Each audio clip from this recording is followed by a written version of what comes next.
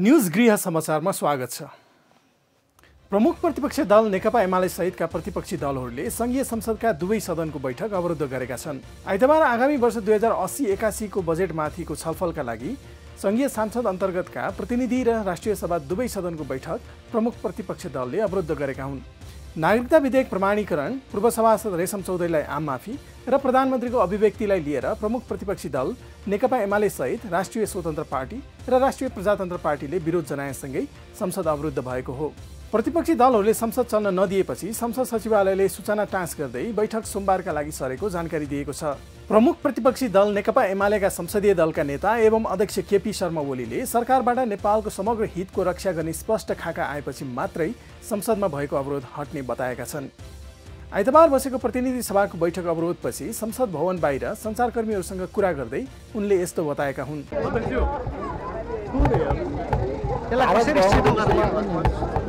सरकार भागेको हो।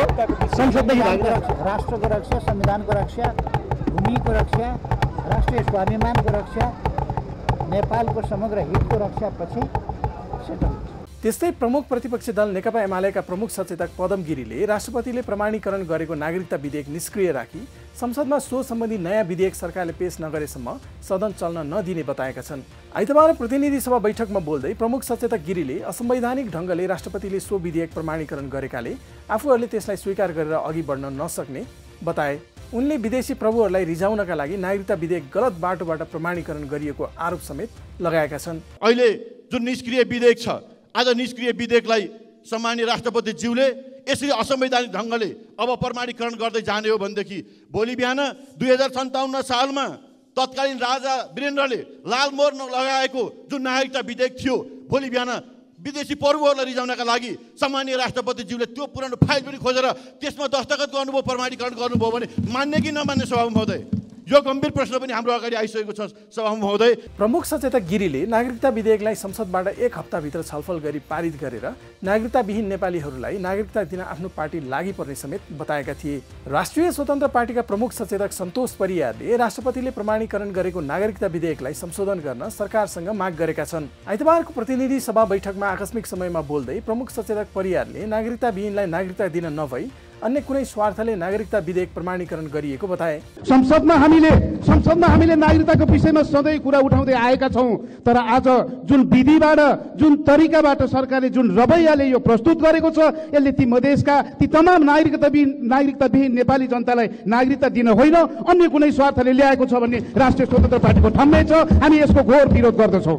उनले राष्ट्रिय स्वतन्त्र पार्टी नागरिकता विधेयक प्रमाणीकरणको पक्षमा नरहेको स्पष्ट पार्दै यसलाई संसदमा छलफल नगरी प्रमाणीकरणमा लैजानु गलत भएको बताए। नेपाल किसान मजदुर पार्टीले नागरिकता विधेयक प्रमाणीकरण भएको विरोधमा काठमाडौँमा प्रदर्शन गरेको छ। आइतबार पार्टी सङ्गठनका नेता कार्यकर्ताहरू भेला भई जेठ सत्र गते राष्ट्रपति रामचन्द्र पौडेलले नागरिकता विधेयक प्रमाणीकरण गर्नु संविधान विपरीत भएको भन्दै विरोध प्रदर्शन भएको हो। विरोध प्रदर्शन काठमाडौँको कोटेश्वरदेखि संसद भवनसम्म भएको थियो। प्रदर्शनका क्रममा उनीहरूले नेपाली लेन्डुपहरू मुर्दाबाद देशभक्त नेपाली एक हौँ देशघाती नागरिकता विधेयक प्रमाणीकरण खारेज गर लगायतका नारा र ब्यानर बोकी प्रदर्शन गरेका थिए। अर्थमन्त्री डाक्टर प्रकाश शरण महतले प्रधानमन्त्रीको भारत भ्रमणले विद्युत निर्यातको समस्या दीर्घकालीन रूपमै समाधान भएको बताएका छन्। आइतबार संसद भवन नयाँ बानेश्वरमा सञ्चारकर्मीहरूसँग कुराकानी गर्दै मन्त्री महतले विद्युत निर्यातको समस्या नहुनुलाई नेपालले ठुलो उपलब्धिको रूपमा लिनुपर्ने बताए। साथै उनले विद्युतको उत्पादन बढाएसँगै आन्तरिक खपत पनि बढाउनु पर्नेमा जोड दिएका थिए। सौहार्दपूर्ण भयो भन्ने लाग्छ। अब दीर्घकालमा विद्युत जुन निर्यातको जुन समस्या थियो त्यो समस्यालाई चाहिँ समाधान गर्ने चाहिँ काम अगाडि बढाएको छ।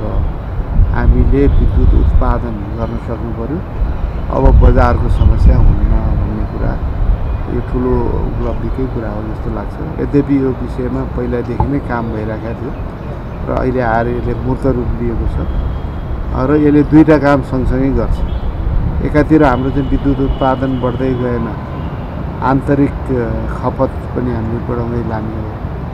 यहाँको यातायातलाई यो विद्युतीय माध्यमबाट चलाउनेदेखि लिएर खाना पकाउने कुराहरूलाई चाहिँ विद्युतीय माध्यमबाट चलाउने गऱ्यो भनेदेखि हाम्रो पेट्रोलियम आयात घट्छ। मन्त्री महतले प्रधानमन्त्रीको भारत भ्रमण अत्यन्त सौहार्दपूर्ण र उपलब्धिमूलक भएको जानकारी गराएका छन्। श्रम रोजगार तथा सामाजिक सुरक्षा मन्त्री शरद सिंह भण्डारीले वैदेशिक रोजगारीलाई थप सुरक्षित र मर्यादित बनाइने बताएका छन्। आइतबार मन्त्रालयमा पत्रकार सम्मेलन गर्दै मन्त्री भण्डारीले वैदेशिक रोजगारीका लागि नेपालीहरू जाने गन्तव्यस्थललाई सुरक्षित र मर्यादित बनाउने दायित्व सरकारले निर्वाह गर्ने बताएका हुन्। साथै मन्त्री भण्डारीले अवैधानिक रूपमा नेपालबाट विदेश गएकाहरूलाई पनि मान्यता दिने र उनीहरूलाई पनि सरकार भएको अनुभूति गराउने काम हुने दावी गरेका छन्। बत्तिस हजार कति हामीले चाहिँ दिएको छौँ जाने बेलामा चाहिँ पाँच लाख हाम्रो बजारमा आइरहेको छ मान्छेमा कहाँ जान्छ बाँकी के गर्ने? त त्यो बाँकी के गर्ने हिसाब किताबमा चाहिँ नि जहाँ जान्छन् त्यो गन्तव्य र त्यो चाहिँ ठाउँ सुरक्षित र मर्यादित बनाउने जिम्मेवारी पनि हाम्रो त्यसो त्यसको साथसाथै स्थानीय बजारमा एउटा कुरो त आइरहेको छैन कि यहाँ मैले त्यो बारम्बार यो कुरो मैले भने पनि छु।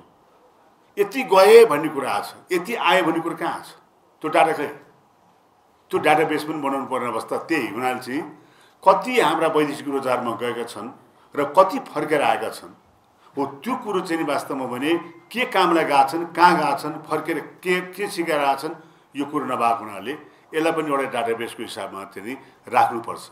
मन्त्री भण्डारीले स्थानीय तहलाई बलियो बनाएर रोजगार सेवा केन्द्रबाट सबै खालका समस्या समाधान गर्न खोजिएको जानकारी दिएका छन्। निर्माण व्यवसायहरूले आगामी असार चार गतेभित्र सबै आयोजनाहरूको म्याद थपको निर्णय सरकारले नगरे निर्माण सम्बन्धी सबै कामहरू ठप्प पार्ने चेतावनी दिएका छन्।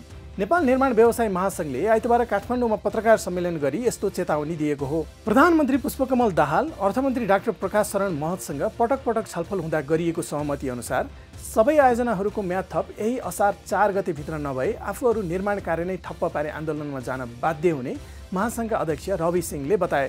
असार चार गतेभित्रमा यो म्याद थपको समस्यालाई सम्बोधन गर्नु पर्यो र यो म्याद थप भएन भने अब पनि आउने वर्षमा पनि मुलुकले चाहेको पूर्वाधारको विकास हुँदैन। अब अझ पनि अर्थतन्त्र चलायमान गर्न सक्दैन। निर्माण उद्योग भनेको उद्योगहरूको पनि उद्योग हो। निर्माण उद्योग चलायमान नभइकन देशको अर्थतन्त्र चलायमान हुँदैन। अन्य उद्योगहरू चलायमान हुँदैन। सिमेन्ट ड डन्डी जस्ता पाता काठ गिटी बालुवा रोजगारी खाद्यान्न सबै कुरालाई चलायमान गर्नलाई पूर्वाधारलाई तदारुकता साथ सरकारले पुँजीगत खर्चको वृद्धि गर्नुपर्छ। एकातिर हामीलाई सत्तरी अर्ब रुपियाँभन्दा बढी सरकारले भुक्तानी गर्न बाँकी रहेको अवस्था र अर्कोतिर सरकारले नै सृजना गरेको समस्या माइलस्टोनको कारणले गर्दाखेरि अहिले निर्माण उद्योग धराशय भएको छ। महासङ्घले नेपाल सरकारलाई आर्थिक भार बढ्न नदिन र आयोजनाहरू अलपत्र हुने अवस्था आउन नदिन मागहरू पुरा गर्नै पर्ने बताएको छ। सरकारले समयमै परियोजनाहरूको लागि आवश्यक बजेट विनियोजन गरी भुक्तानी गर्न नसक्दा अहिलेको समस्या आएको महासङ्घको दावी छ। नेपाल राष्ट्र ब्याङ्कका गभर्नर महाप्रसाद अधिकारीले नेपाल र भारत बीच क्रस बोर्डर डिजिटल पेमेन्टमा भएको सम्झौताले दुई देश बीचको भुक्तानीमा थप सहज हुने बताएका छन्। आइतबार काठमाडौँमा आयोजित एक कार्यक्रममा बोल्दै गभर्नर अधिकारीले पछिल्लो सम्झौताले नेपाल र भारत दुवै देशका नागरिकलाई थप सजिलो बनाउने दावी गरे। राष्ट्र ब्याङ्कले दुई देशबीच हुने डिजिटल भुक्तानीलाई व्यवस्थित बनाउनका लागि आवश्यक तयारी गरिरहेको उनले जानकारी दिएका छन्। नेपाल र इन्डिया क्रस बोर्डर चाहिँ विद्युतीय कारोबारलाई सहजीकरण गर्ने गरी सिएचएल र इन्डिया पिसिआई बिच चाहिँ एमओयु भएको छ। जुन चाहिँ एकदमै पियर पियर संस्थाहरू एकै खालका संस्थाहरू बिच हामीले गरेका छौँ। नेपालमा जुन संस्थाले एउटा डिजिटल पेमेन्टको लागि इन्फ्रास्ट्रक्चर डेभलप गर्यो जसलाई भ्रमण गर्ने सिलसिलामा नेपाल राष्ट्र ब्याङ्क आफैले लागेर त्यो संस्था दर्ता गरेर संस्थालाई भ्रमण गर्दै ल्यायो।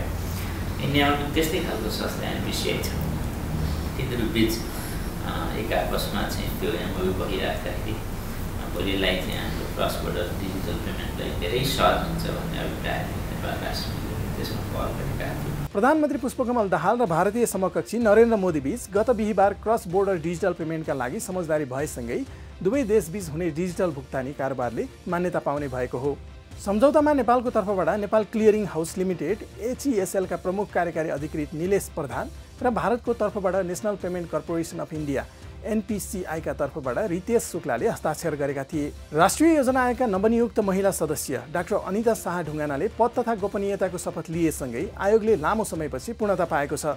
नवनियुक्त सदस्य ढुङ्गानाले आइतबार आयोगका उपाध्यक्ष डाक्टर मिनबहादुर श्रेष्ठ समक्ष पद तथा गोपनीयताको शपथ ग्रहण गरेकी हुन्।